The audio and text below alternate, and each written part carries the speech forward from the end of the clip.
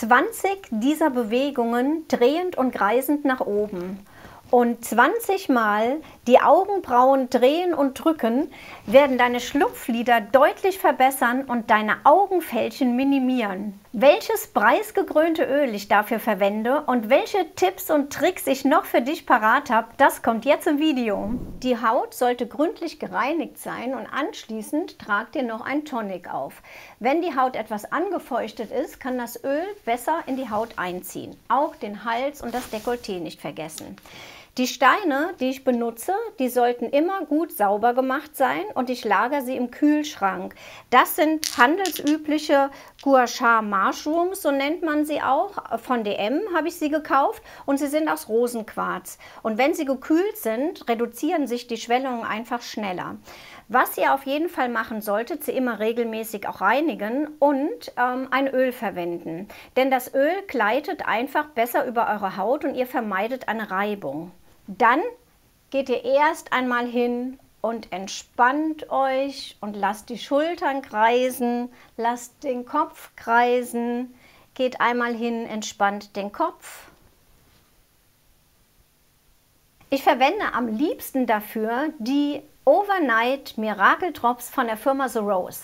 Ja, das Besondere daran ist, dass es kalt gepresste Hagebuttenkerne sind, 100% naturrein, für eine reife, dünner werdende Haut. Für eine Haut, die fahl ist, wenn ihr zum Beispiel zu Hause feststellt, dass ihr so einen gräulichen Schleier auf eurer Haut habt, die Haut oberflächlich trocken ist und überhaupt keine Ausstrahlung hat, dann sind das genau die richtigen Tropfen. Ja, es ist so, dass nicht nur diese Hagebuttenkerne dort drin sind, sondern der sogenannte Cotinusbaum. Das ist der Perückenstrauch. Ja, aus dem Holz der Zweige wird das Öl gewonnen und äh, das Besondere daran ist, es ist antiseptisch. Ja, wenn ihr zum Beispiel Entzündungen auf der Haut habt oder ihr habt eine Art Reibeisenhaut oder eine Rosacea, dann ist es auch geeignet. Also es ist selbst für die empfindliche Haut geeignet. Ihr könnt es morgens und abends anwenden, denn es hat auch noch einen natürlichen Sonnenschutz, einen natürlichen UV-Schutz. Ja, ich habe es also die Tage öfter benutzt, wie ihr also sehen könnt, und zwar auch morgens. Also morgens habe ich zum Beispiel Beispiel unter der Foundation genommen und abends als meine Routine. Das heißt, ich habe mein äh, Gesicht gereinigt, ein Double Cleansing, also zuerst das Make-up abgenommen und dann halt nochmal die Reinigung gemacht und dann gibt es wirklich nur dieses eine Produkt. Also ganz minimalistische Naturkosmetik. Ja, was ist das Problem bei den meisten? Dass sie einfach zu viel Produkt benutzen oder zu viel Produkte. Und ähm, ja, damit kann euch das einfach nicht passieren, denn es ist ein Clean Beauty Produkt, 100% naturrein. Und wie es jetzt angewendet ist, wird, das zeige ich euch jetzt. Mit dem Öl bekommt ihr eine schöne, gesunde Gesichtsfarbe. Es hat Omega-3, 6 und 9 und Beta-Carotin enthalten. Und zwar geht ihr dann einmal hin und nehmt euch drei bis vier Tropfen.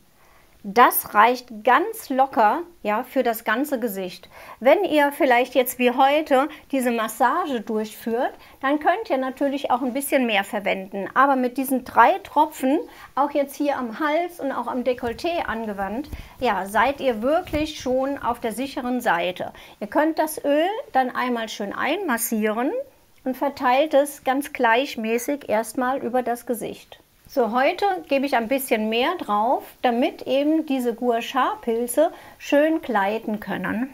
Und den Überschuss könnt ihr dann immer noch mit einem Tuch abnehmen und drückt das einfach dann nur so auf die Gesichtshaut.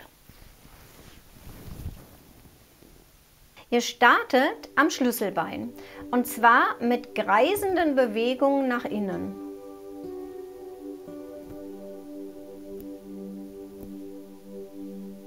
Immer so circa drei Wiederholungen. Dann mit kreisenden Bewegungen hier am Hals entlang. Der Kopf kann so ein bisschen gesenkt werden nach vorne. Mit kreisenden Bewegungen wieder zum Schlüsselbein und hier die Punkte am Nacken nochmal stimulieren.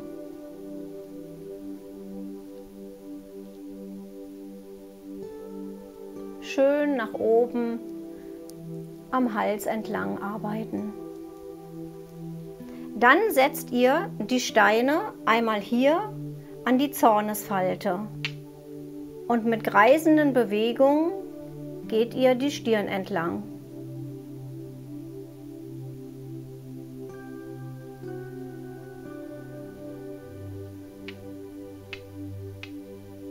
Das macht ihr dreimal.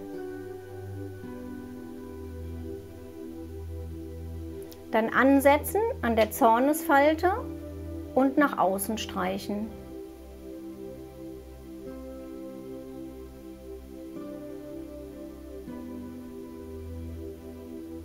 Dann setzt ihr neben dem Auge an. Dreht nach außen.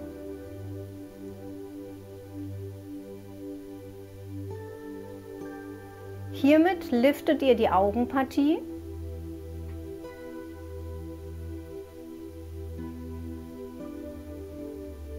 Erstens ist es sehr angenehm und zweitens könnt ihr für das Lifting dann circa zehnmal hier nach oben gehen.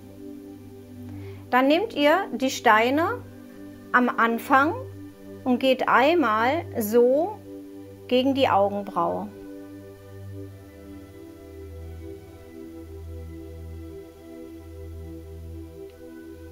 Dreht die Steine noch einmal um und setzt sie euch in die Augeninnenhöhle. Einmal drücken, atmen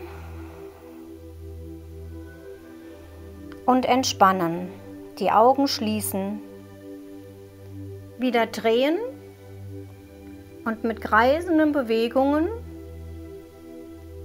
nach außen. Hier die Punkte stimulieren und wieder zum Auge. Einmal drehen, kreisen, Punkte stimulieren und nach innen. Dreht die Steine wieder, setzt sie in eure Augenhöhlen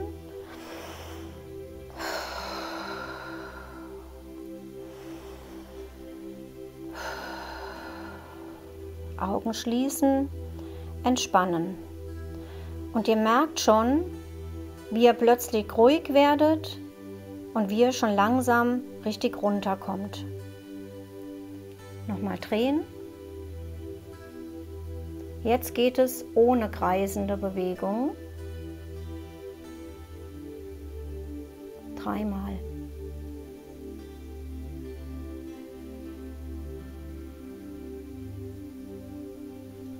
Steine nochmal drehen und hier auf den Augenbogen setzen.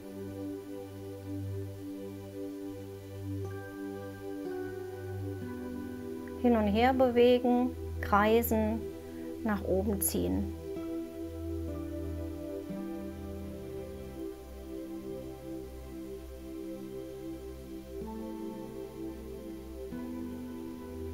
Ihr könnt auch die Steine im Querformat verwenden. Setzt sie auf die Augenbrauen und geht einmal so nach außen.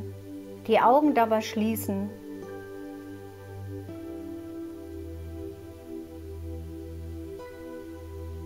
Das werdet ihr merken, das ist so, so angenehm.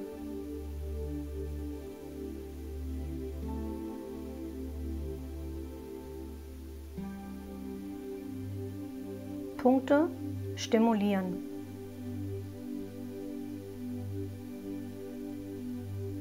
Das ist jetzt keine medizinische Lymphdrainage, es ist eine Lymphstimulation. Ihr könnt auch abends eure Augencreme immer damit einarbeiten.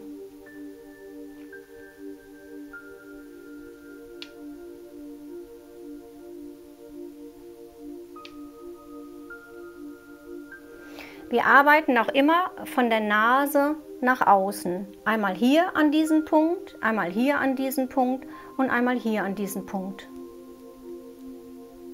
Jetzt geht es von der Nase nach außen.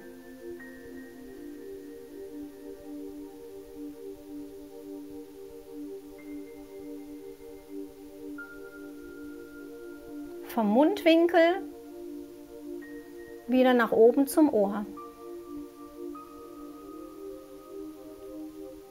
Immer hier verharren und drehen.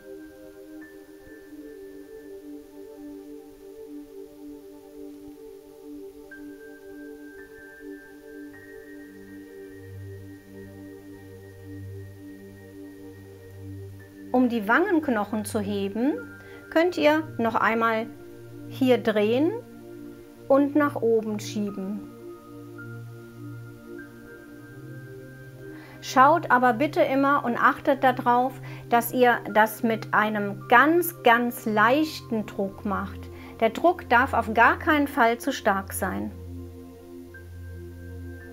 Denn die Lymphe sitzt ganz leicht unter der Haut. Das heißt also, um sie also zu entschlacken, dürft ihr gar nicht so fest drücken, sondern wirklich einfach das Ganze nur nach außen schieben. Wer jetzt das Kinn etwas lüften möchte, geht einmal so.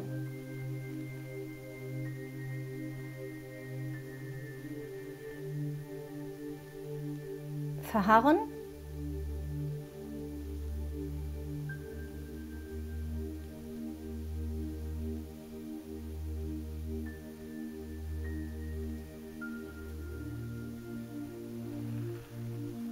Gegen die Hängebäckchen arbeiten wir so.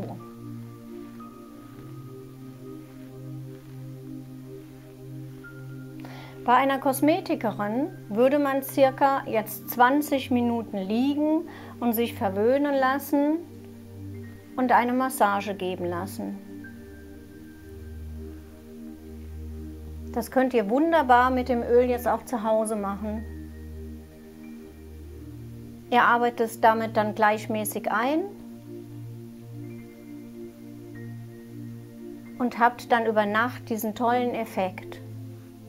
Morgens wird die Haut sehr beruhigt und strahlend sein.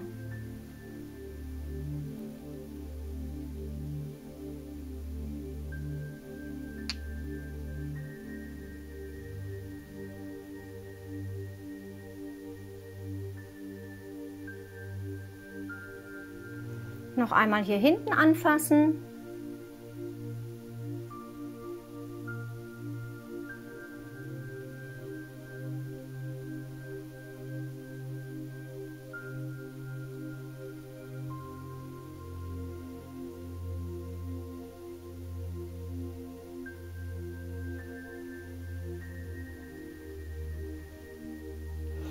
Ihr werdet mit der Zeit auch merken, was euch gut tut und spürt, welche der Massagen und an welchen Stellen es besonders angenehm ist. Ich finde auch immer hier oben in dem Augenbereich, durch das Schließen der Augen kann ich mich persönlich am besten entspannen.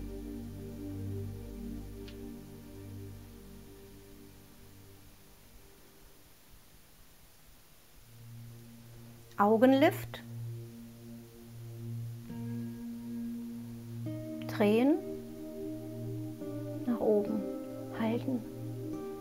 Augenlift, drehen, nach oben halten.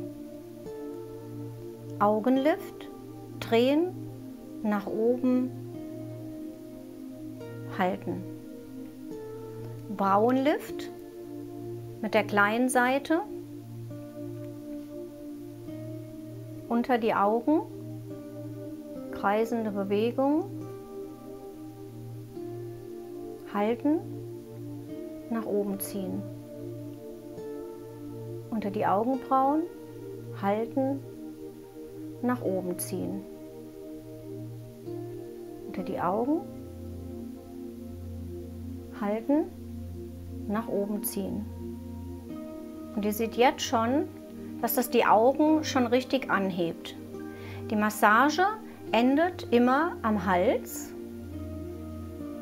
und ihr geht den umgekehrten Weg mit kreisenden Bewegungen nach unten. Schaut, dass ihr den inneren Bereich freilasst, wegen der Schilddrüse. geht hier nochmal an das Dekolleté, kreist.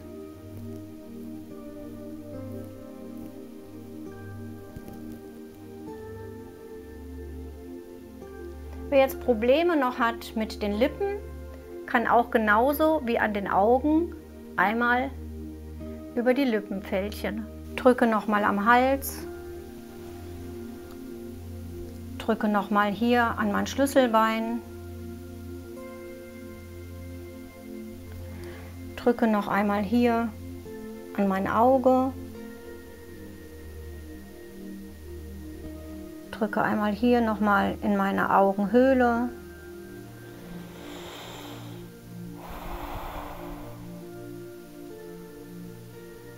Geh zur Seite, geh nach unten